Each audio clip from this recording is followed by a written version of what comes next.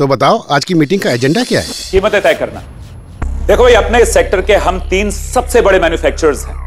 पर पिछले कुछ सालों में हमें अपने प्रोडक्ट की कीमतें बढ़ाने की बजाय घटानी पड़ रही हैं। ग्राहक को आकर्षित करना है तो कीमतें तो कम करनी ही पड़ेगी। तुम कीमतें कम करोगे तो हमें भी कीमतें कम करनी पड़ेंगी। और घाटा किसका होगा? हम सबका।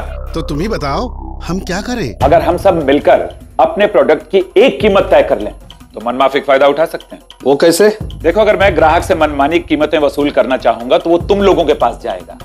जब तुम लोग भी वही कीमत वसूल करोगे तो उसके पास कोई चारा नहीं बचेगा।